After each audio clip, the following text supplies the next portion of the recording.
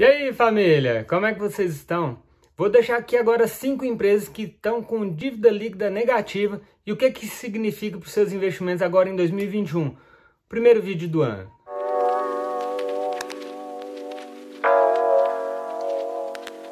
É isso aí, família. Quando a gente está falando da questão do endividamento, é muito importante entender isso, não só na questão pessoal das suas dívidas pessoais, mas isso reflete muito da sua vida pessoal na vida de uma empresa. Então, quando você analisa que uma pessoa está endividada, que ela gasta mais do que ganha, isso ali representa uma fragilidade para aquela pessoa. E a mesma coisa se aplica aos negócios. Empresas que estão com a dívida descontrolada são empresas mais frágeis. Então, é importante você entender isso na hora de estar tá estudando uma empresa e decidindo se você realmente quer ser sócio desse negócio. Investir em empresas que estão com um endividamento grande ou endividamento sem controle empresa que está passando por recuperação judicial, é um investimento mais arriscado, pode ser mais rentável, mas se você não entende como isso acontece ou como que essa empresa vai estar tá resolvendo esse problema, eu falo para você não investir nesse tipo de negócio. Então a gente vai falar aqui sobre a, a dívida líquida. E o que, que é a dívida líquida? A dívida líquida é nada mais do que a soma de empréstimos, financiamentos e somado ao caixa que aquela empresa tem ou equivalente ao caixa. E quando essa dívida dá negativo, significa que o que a empresa tem de caixa, tem de dinheiro, é capaz de saldar todas as dívidas e ainda sobra alguma coisa. Por exemplo, essas cinco empresas que a gente vai estar tá falando, que eu vou estar tá falando para vocês aqui agora, que estão com dívida líquida negativa. A primeira empresa que a gente vai falar é a Ambev, que está com uma dívida líquida aí de menos 16,24 bilhões.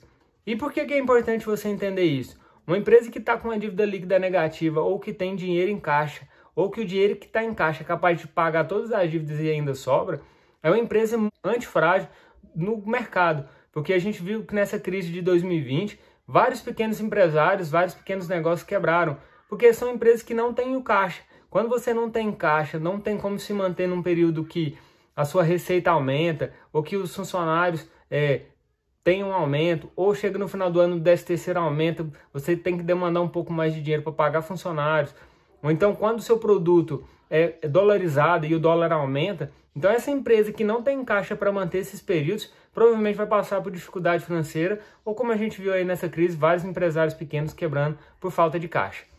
A próxima empresa que a gente vai falar aqui é a B3, que é a nossa bolsa de valores, né? É Bolsa Brasil Balcão. Então, é uma empresa que tem uma dívida líquida negativa de menos 7,75 bilhões. A Bolsa de Valores aí no Brasil é uma empresa que tem pouca dívida porque ela não tem um produto, ela não tem um custo de aquisição de produtos. Ela investe em marketing, em mídia, em equipamentos, em produção ali, em produção não, em armazenamento de informações, em data centers, mas ela não tem o custo de estar adquirindo produtos. Então é uma empresa que tem esse controle financeiro em dia e a gente vê que ela tem a capacidade de pagar todas as suas dívidas e financiamentos, né, empréstimos e financiamentos, e ainda sobra um caixa de 7 bilhões. Essa empresa também provavelmente passaria por um momento de crise aí, muito mais tranquilo que empresas endividadas. A próxima empresa que a gente vai falar agora é a B2W, que é a que faz o, marketing, a vendas, as vendas online das lojas americanas, Submarino. É uma empresa que está no e-commerce e ela tem uma dívida líquida negativa de menos 2,94 bilhões. Uma empresa também que tem uma capacidade de estar tá gerindo o seu negócio com mais tranquilidade do que outras empresas que estão mais endividadas. Então, quando você vai iniciar nos investimentos, entender esses conceitos é muito, é muito importante para você não perder dinheiro aí nos seus investimentos. A próxima empresa agora é a Grendene, né? Muito conhecida ali pelas sandálias, calçados da Disney, calçados abertos da Disney, sandalinhas, chinelos. E provavelmente você pode ter algum chinelinho aí em casa, na sua casa, que aqui em casa tem vários. Então é um produto que faz parte do dia a dia e essa empresa tem uma dívida líquida de menos 1,33 bilhões. Essa empresa pode utilizar, por exemplo, desse caixa no momento de crise, como a gente passou em 2020, para adquirir concorrentes. Se você tem esse dinheiro em caixa e outras empresas menores estão passando por dificuldade financeira, você pode usar esse caixa para adquirir essas empresas e aí depois passar do período de crise, você aumenta a sua capacidade de produção.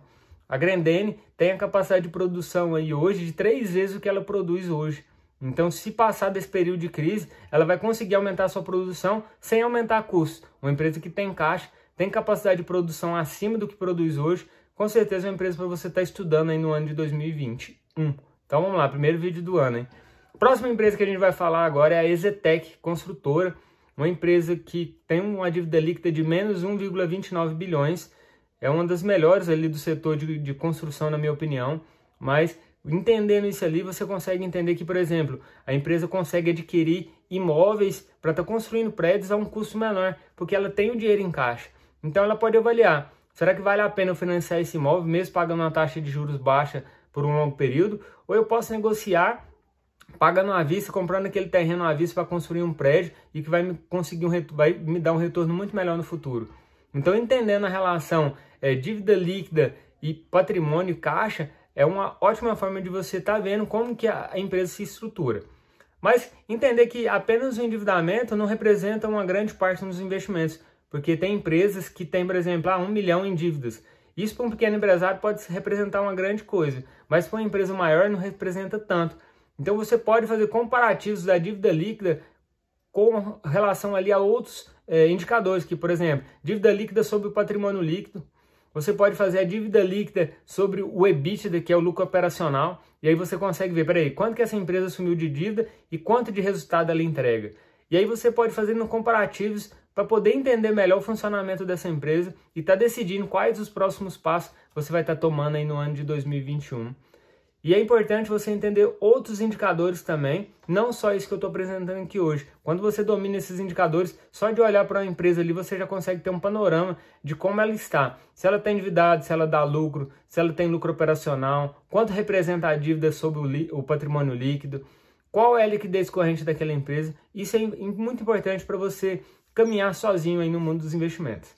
Eu espero que vocês tenham gostado dessas cinco empresas aí. Isso aqui não é, não é, não é, não é nenhuma recomendação de compra, é apenas um estudo que eu fiz e estou apresentando essas informações para você. E é muito importante que você tenha consciência de é você quem decide o que você faz com o seu dinheiro. Espero que você tenha gostado. Se gostou, deixa seu like, se inscreve aqui no canal. Nós temos lá no Instagram também, Osmar Família 93 e no TikTok.